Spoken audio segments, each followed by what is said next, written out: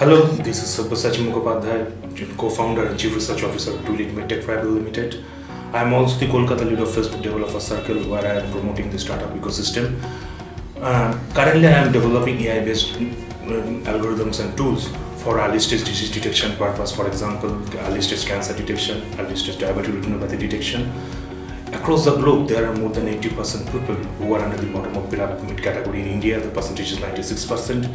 We, uh, that means they do not have enough money to pay taxes. So you can understand the scenario if somebody is affected by cancer, how much they will, uh, how much the treatment will be cost effective for them, and Besides, the, there are the poor accuracy level of biopsy is also another factor, the 65 to 70 percent the accuracy level, and it takes two weeks to come up the report. So why not?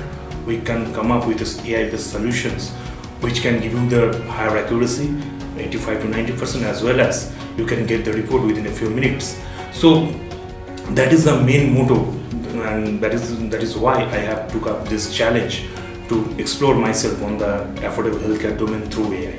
During my master's at IISER Kolkata, I started to explore in the domain of affordable healthcare. We explored with different AI algorithms and found out the optimum results, which provide us the accuracy level of 90% over the in vitro samples. And the report was published in Journal of Biomedical Optics. Our work has been highly appreciated by the science media as well as the different leading uh, newspapers of India, for example, the Hindu Business Standard, Indian Express, as well as the science media like Nature India. So later on, we uh, this has been even inspired us to why not to form a company, uh, and that's why we have approached for the forming Tulip Medtech Private Limited with serial entrepreneur Mr. Parichaya Das. And later on, I mean, that is the main motto actually. That that is the main inspiration why we have took up that particular domain, choose that particular domain to explore, and uh, later on we have. Uh, uh, started uh, with collaborating different hospitals to get gather the adequate data set and uh, tied up with different pathologists. The basic funda behind the, our technology is what happens whenever disease progresses in the tissue, there is a very submicron level changes of medium refractive index fluctuations, so which cannot be detected through the state of art technologies till the, for example, biopsy. So our algorithm, our AI-based algorithm or artificial intelligence-based algorithm is picking up those submicron level changes and classify the, the healthy tissues from the different grades of cancer. So we have uh, collaborated with different hospitals and pathologists to sell our technology through the SaaS model.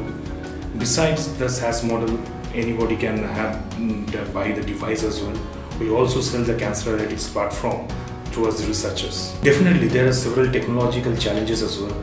For example, to uh, collect the gather the adequate data sets, because to deploy deep learning, you require data in order of 10 to the power 6.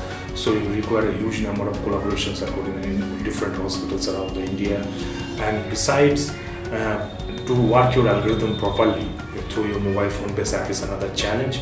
But I am quite thankful to the R&D facilities of IISER Kolkata they have supported us very very well. I am quite thankful to Professor Prasan Panigrahi to provide us this technological insight and scientific insight to interpret all those results.